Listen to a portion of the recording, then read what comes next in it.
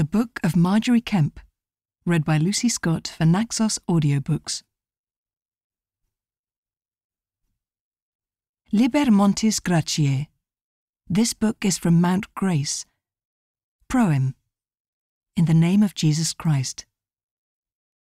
Here begins a short and comforting treatise for sinful wretches, in which they might have great solace and comfort for themselves, and understand the high and indescribable mercy of our sovereign Saviour, Lord Jesus Christ, whose name shall be worshipped and magnified without end, who now, in our time, deigns to exercise his nobility and his goodness to us, the unworthy ones.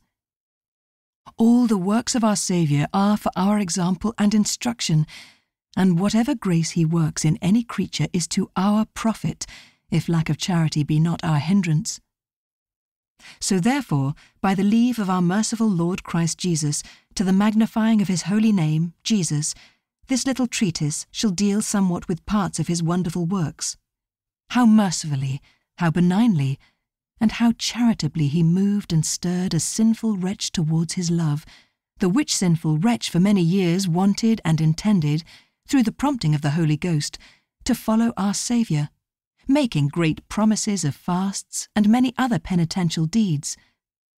Yet she was always turned back in times of temptation, like the reed stalk which bows with every wind and is never unwavering unless no wind blows, until that time that our merciful Lord Jesus Christ, having pity and compassion for his handiwork and his creature, turned health into sickness, prosperity into adversity, esteem into disgrace, and love into hatred.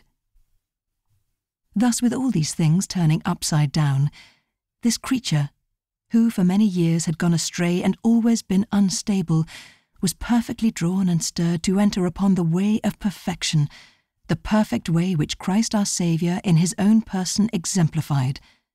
Steadfastly he trod it gravely, and duly he took it before. Then this creature, of whom this treatise shall, through the mercy of Jesus, reveal in part the manner of living, was touched by our Lord's hand with great bodily sickness, through which she lost her reason and her wits for a long time, until our Lord, by grace, returned her to health again, as shall later be shown more openly. Her worldly goods, which in those days were plentiful and abundant, were shortly afterwards utterly barren and bare.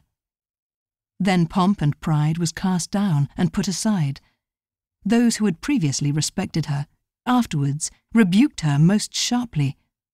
Her kinsmen and those who had been her friends were now her utmost enemies.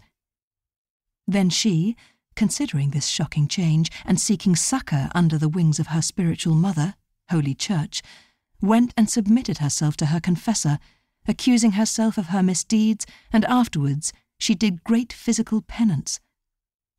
In a short time, our merciful Lord visited this creature with profuse tears of contrition day by day, so much so that some people said she could weep whenever she wanted to, and in doing so, they slandered the work of God. She was so used to being slandered and disgraced, to being chided and rebuked by the world for the grace and virtue with which she was provided through the strength of the Holy Ghost, that it was a kind of solace and comfort to her when she suffered any distress for the love of God and for the grace that God performed in her.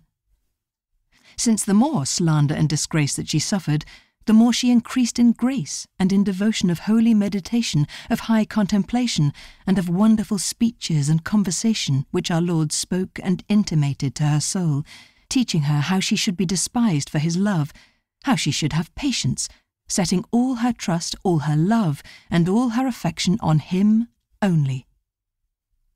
Through the inspiration of the Holy Ghost, she knew and understood many secret and private things that would happen afterwards.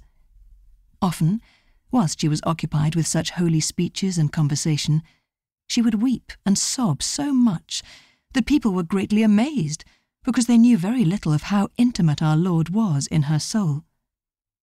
She herself could never tell of the grace that she felt. It was so heavenly, so high above her reason and her bodily wits, and her body was so feeble in times of the presence of grace that she could never express it with words as she felt it in her soul. Then this creature much dreaded the illusions and deceits of her spiritual enemies. Then, at the request of the Holy Ghost, she went to many honourable clerics, both archbishops and bishops, doctors of divinity, and bachelors too. We hope you enjoyed this preview. To continue listening to this audiobook on Google Play Books, use the link in the video description.